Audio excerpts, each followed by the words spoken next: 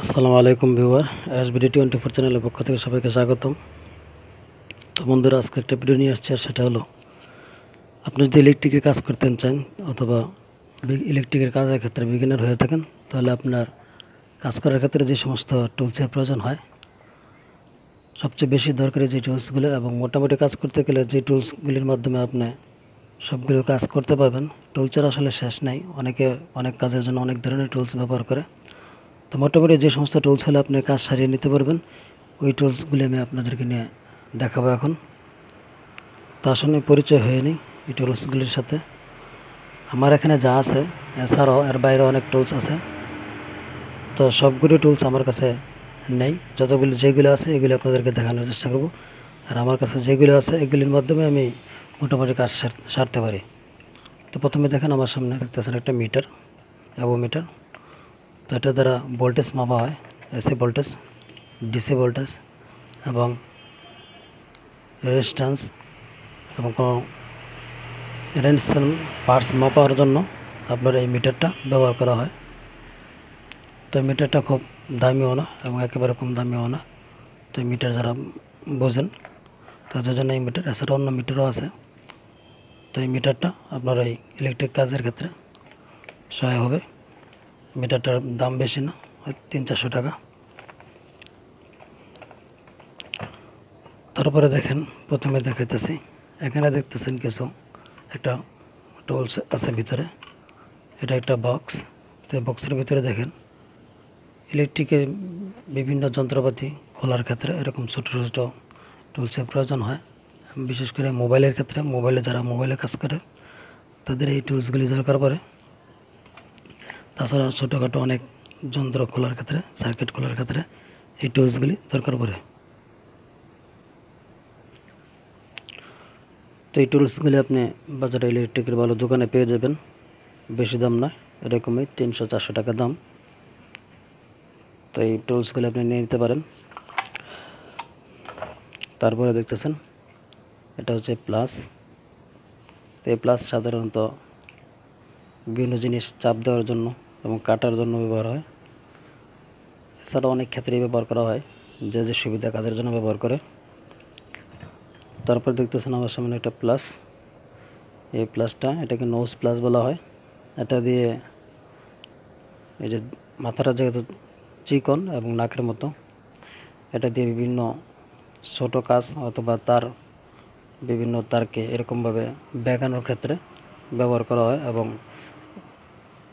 Line থাকা অবস্থায় যদি কেউ ইলেকট্রিকের কাজ করে, তাহলে এটা দিয়ে চাপ ধরে সরাসরি লাইনে কাজ করা যায়। অথবা যে যেভাবে ব্যবহার করে, এই প্লাসটা। তারপরে দেখতেছেন, ইলেকট্রিক্যাল কাজ করার জন্য আপনার এরকম একটা নাইফ দরকার পড়বে। এরকম একটা নাইফ নিয়ে নিতে পারেন। তারপরে হলো, এই দেখতেছেন, সেলাই রেঞ্জ আমরা যেটাকে বলি। তো বিভিন্ন ধরনের নাট খোলার জন্য অথবা ফ্যান লাগানোর ক্ষেত্রে বিভিন্ন মেশিনে নাট খোলার ক্ষেত্রে রেঞ্জ ব্যবহার করতে হয়। একটা রেঞ্জ কিনে নিয়ে যাবেন। তারপর দেখতেন স্ক্রুপ ড্রাইভার, এটা যে স্টার তো এরকম স্ক্রুপ ড্রাইভার কিনে নেবেন। এগুলো চল্লিশ টাকা করে বিক্রি করা হয়। এই দেখতেছেন।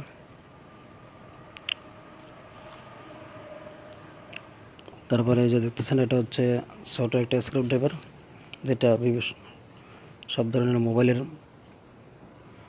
নাট খোলার ক্ষেত্রে ব্যবহৃত হয়। এই যে একটা স্ক্রু ড্রাইভার দিতেছেন, এটা স্টার ছোট স্টার জাতীয় সমস্ত নাট খোলার ক্ষেত্রে ব্যবহৃত হয়।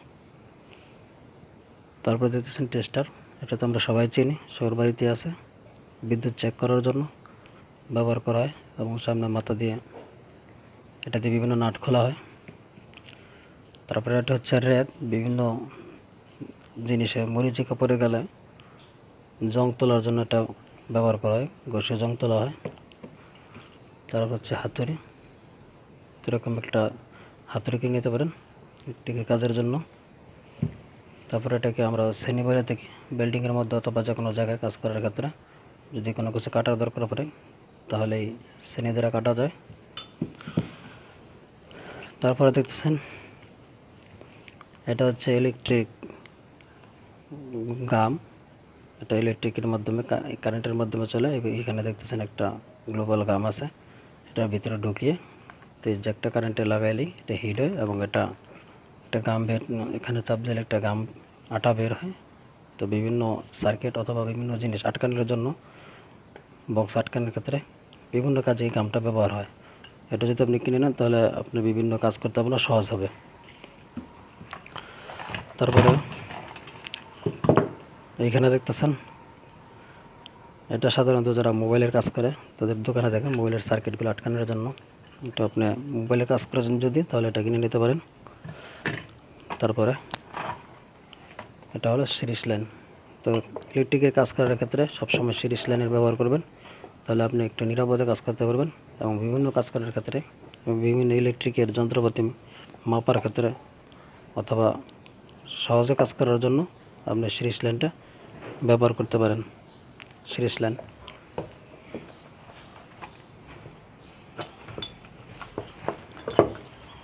তারপরে দেখতেছেন, এটা হচ্ছে সোল্ডারিং আয়রন তো জ্বালাই করার জন্য রাং এবং রজনের মাধ্যমে বিভিন্ন সার্কিটের মধ্যে তার জ্বালাই করার জন্য আপনার ওই ইলেকট্রিক আয়রনটা ব্যবহার করতে হয়।